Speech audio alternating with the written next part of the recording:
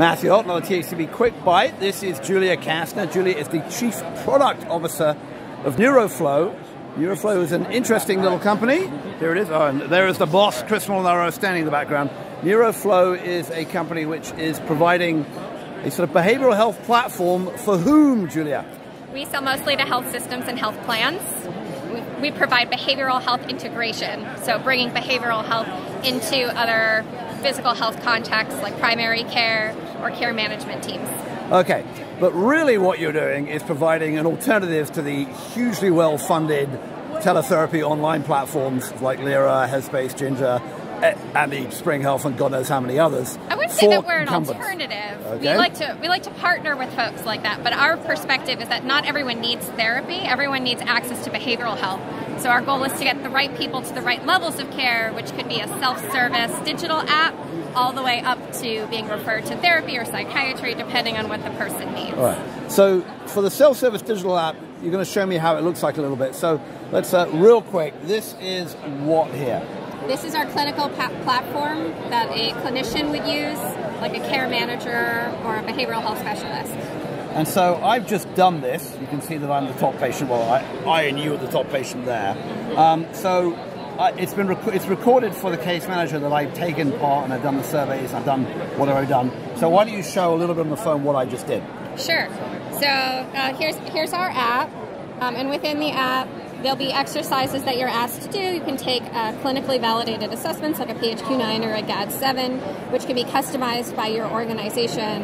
And then uh, we'll recommend a small DCBT uh, influenced curriculum, uh, which again can be customized by your organization for you. Uh, and as you work your okay, way just through to, just to stop you a second. So that means cognitive behavioral therapy or something similar to it, mm-hmm. which allows me to watch some videos. In fact, why don't you quickly click yeah. to the click to the videos? yeah. show me some ideas about so, what videos I could see, give some explanation. Yeah, so this one's an example of the, your intro to NeuroFlow, but I'll show you. This one was triggered for you because of the way that you answered the PHQ-9. I was very, very depressed when I answered the PHQ-9, yes. yes. And so you were recommended depression videos, and you'll, you'll go through a small program about depression over you know, a few days um, with different activities that you can do and uh, worksheets um, and you know content for, for you to, to think through uh, some reading activities, things like that. Okay, and why don't you show the, the range of things within the app and the program that a patient can do? Yeah, so we have a bunch of different types of activities that are um, some that are more focused on wellness, like tracking your mood and sleep, and pain. Uh, but we also have uh, video content, uh, different types of reading activities that you can uh, do a journal right in here. So again, meant to be a self-service uh, behavioral health resource. All right, fantastic. So tell me a bit about who is using this. What are the sort of main use cases within for health plans and health systems? Yeah, so for a health system, we might see an integrated behavioral health care model like a BHI or collaborative care.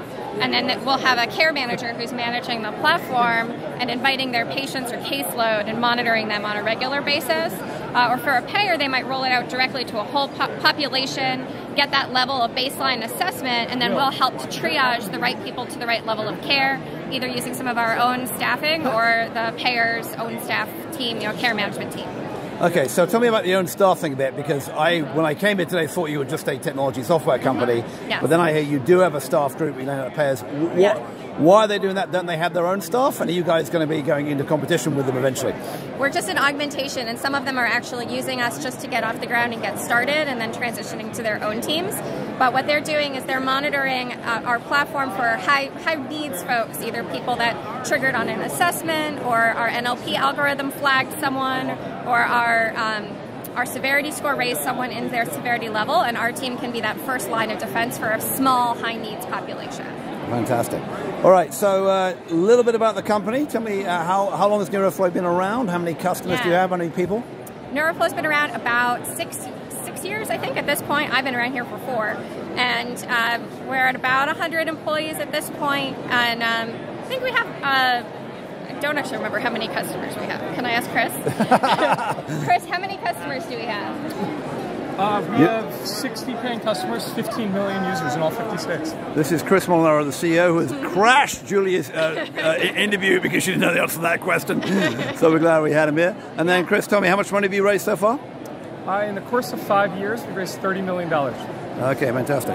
Uh, and then between the two of you, what is next for the product? I should ask you this. Yeah, we're really excited. We're actually just launching a new, uh, what we call Journey Gallery. So a lot of that DCBT inspired content is, will be available for patients to pick out on their own. Uh, and then on the clinical side, we're always leveling up our, uh, our algorithms and the, the types of specificity. And then we have a, a really exciting feature where we're allowing uh, custom tagging so that uh, care managers can really customize their workflow. It's inspired by a lot of the customization of Asana or the productivity management tools. All right. And then finally, Chris, what's next for the company? I'm really excited about all the partnerships and integrations we have. The only way you get the adoption that you do in healthcare today is by working with the systems and then the workflows. So a lot of integrations, APIs, white labeling, and that sort of thing. Uh, but NeuroFlow is the next few years are going to be really exciting. So uh, does that mean more health plans are going to be the, the future of, the, of, your main customer base, or I mean, how do you see this evolving in mental health care for, as, a, as, a, whole? For us, I think when you look at mental health care, it, effect, it impacts the overall outcomes and cost of care. So really, we focus on whoever is risk-bearing entities. So a lot of providers now have value-based care products. A lot of health plans are at, are you know at risk for total cost of care. It's that intersection of the payers and the providers where NeuroFlow's you know just where we find our sweet spot. All right, fantastic. Well, I've been talking with Chris Molaros, the CEO of NeuroFlow, Julia Kastner, who is the Chief Product Officer. Thanks for your time. Thank you.